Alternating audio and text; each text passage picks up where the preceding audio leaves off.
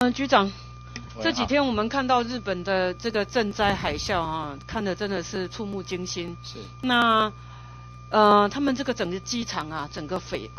真的是毁于一旦啊。那但是在整个过程里面，我们看到就是说不在首当其冲的灾难区的话，其他民众的疏散，而且那个速度都相当快啊、甚至呢，在地震前十秒啊，日本政府就先发布。就有先有警告，然后开始帮民众技术，告诉他们赶快，而且简讯马上就传给所有这个这个有大哥大的人。我觉得这项工作非常非常的重要，因为台湾也正好在这个地震带，什么时候会发生谁都不晓得。那尤其在机场的呃这个范围里面啊，那机场又靠近我们的海边啊，那我们希望永远不会碰到。但是如果没有做及早的防护的话，我还蛮担心的。以我们台湾人一向对于那个不到这个这个紧要关头呢，不会去去警觉到的状况之下，那么对于呃看到日本这样的一个呃震这个地震还有海啸这样的一个情形，我们这个机场安全方面有没有什么样的特殊的做法？有没有？呃，跟文报，其实呃那一天下午哈，呃，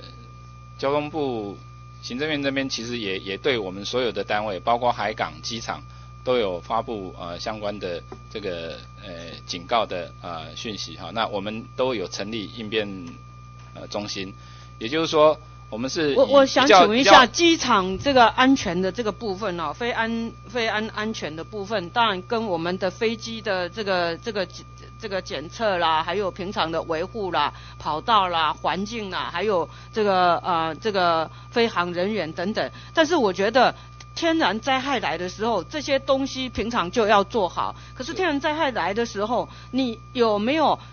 你你这个讲习如果没有呃所有的疏散路线，而且这个逃出的方向，而且啊、哪些资源系统，这些你们都有做规划吗？跟我们报告，我们机场大概每年都会举办演习的哈，但是说呃，很坦白讲，就是以海海啸作为作为这个情境的哈，还没有做过。对，哎因为其实我们的机场靠近大园，大园其实是靠海边的，这个你很清楚吗？了解。所以说，如果说以像九级这样强大的那个一口气就有十公尺啊，三层楼以上，那这个我们的这个机场啊，应该是很难幸免的。啊，至少周边都会碰到。那在这种情况之下，过去没有这样的一个危机意识，现在是不是应该要建立是这样？而且你那个整个机场啊，包括汽车的疏散，因为那个几乎都是停机，那个这一扫下去的话，真的不得了啊。那你那个疏散的路线、人员等等的，我我还有就那个我们机场的整个防震的、呃、这个系统都有都有防防震是是完全依照内政部的建筑技术规则啊的的所规范的呃那那种强度来好，这个是我们在在看到这种大灾难的时候，另外啊，有一点我们非常佩服日本人，那么大的灾难，说实在话，已经比我们九二一大大了两百五十六倍。那个上次我看到那个新闻的，啊，在短短三天之内啊，那个城市虽然说还有很多摊贩没办法及时抢，但是我觉得他们这个人员的秩序啊，那种沉着稳定，谁不害怕？谁不痛心呐、自己的这个亲人都不不见了，可是我看到他们那种手法，而且对于这种呃灾难呐、没有任何的抱怨，只期待跟政府配合，怎么样度过这个难关。我觉得这个我们真的很值得来学习，尤其空这个航运这一块啊、呃，空航空航这一块呢。啊，是对外联系非常重要的。如果连这个都瘫痪的话，像我们这种岛屿国家，像日本至少那个那个国内还这个土地还比我们大很多啊，所以这个部分呢、我觉得我们有必要啊，这整个呃未来在万一有什么大的这个灾难的时候，这整个啊空中如何如何在最短的时间之内啊维持最快的啊这个恢复状况，而且对外联系，我觉得这个很重要啊。是那所以说，除了啊、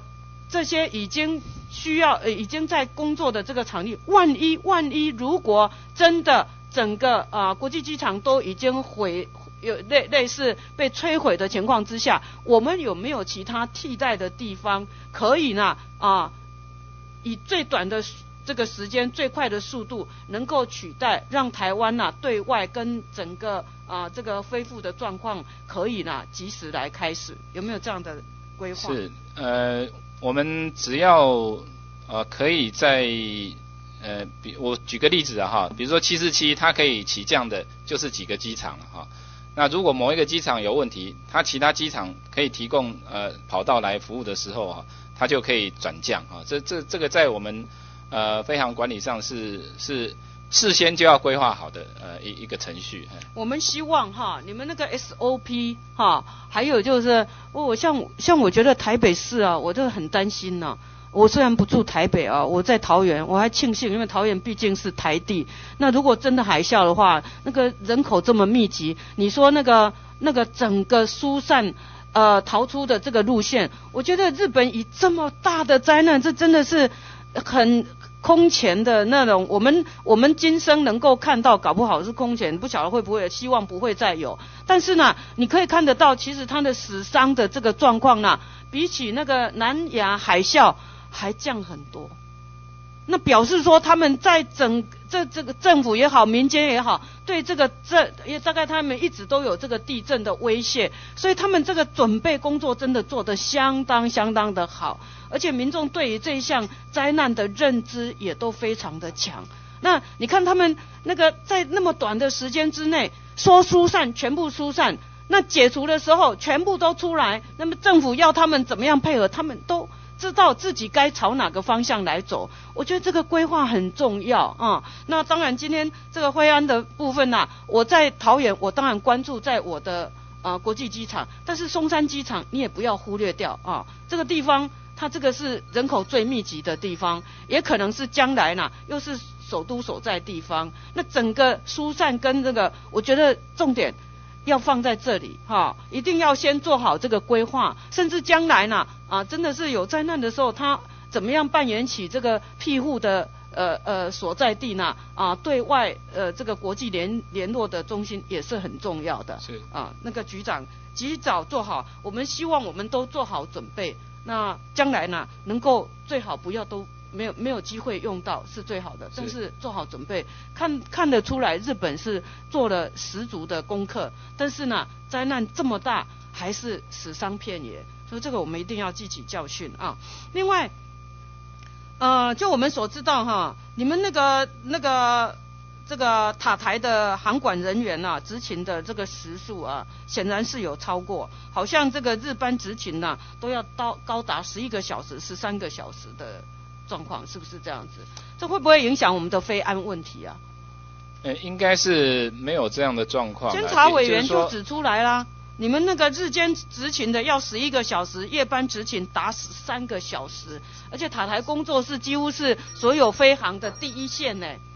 那个起落起降呃，这个这个起飞降落是所有安全里面最重要的一刻。你你让这些人员这么超时的工作。可以吗，局长？你自己都搞不清楚，这样不行哎。我我了解哈，我们是以总时数来做管制的了哈，因为他每个管制员大概一个月要一百六十六个小时了哈。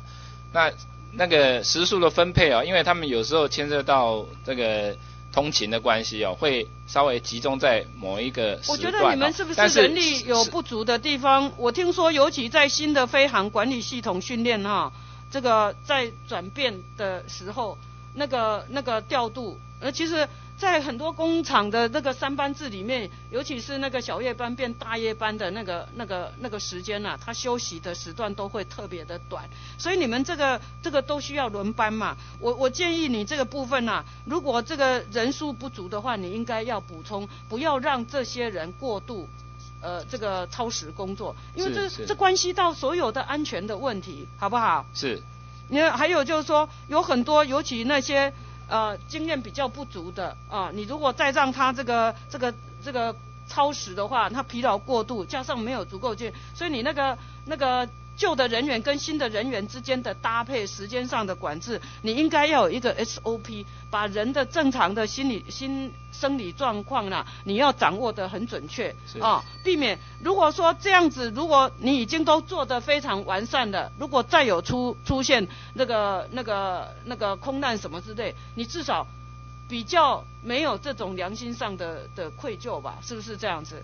是的，跟委员报告，呃，刚刚委员提提醒的这个很重要啊，就是人员哈要充分哈。那我们目前大概每年也都有呃经过特考的这个管道来呃引进新进的人员。那新进的人员他经验是不足哈，其实我们新进要有十一个月的训练期了啊。那那有一部分的训练是在就是他。就是在塔台上啊执勤这样的一个在职训练。对，还有呃，我我我现在要讲的就是说，其实有很多都是你要事先做好准备工作。像上一次就一月十一，去年的十一月四号，就是那个机场的那个塔台管制口误啊，结果害那个本来是长龙跑道滑行的，变成那个那个华航的也也也在起飞跑道上面一阵混乱。所以你那个。有经验的人带没有经验人，这个过程你一定要做好完全的准备。还有就是说，当他这个超时工作的时候，有的时候那个脑筋可能在一片混混沌的状况之下，可能在讲的时候呢，会有那个失误或什么。我觉得这些人为的危险，你要尽可能来避免，好不好？谢谢委员指正。这个我是从这个。那个日本的这个灾难里面，我们真的是得到一个很大，你你真的是要要熟能生巧，而且你要不断的训练，因为这些东西都不是说你嘴随便写写文章或讲讲讲就交代过去就可以的，你必须不断的让它重复再重复。呃，尤其这种安全，它就是一个固定的东西，它你时间固定或什么，但是你那个演练久了以后，它会很自然的反应，能够出错的机会就会比较降低，好不好？是啊，不要常常有这个非安的问题让大家来诟病，好不好？是，OK，好，谢谢，谢谢。好，谢谢，接着请。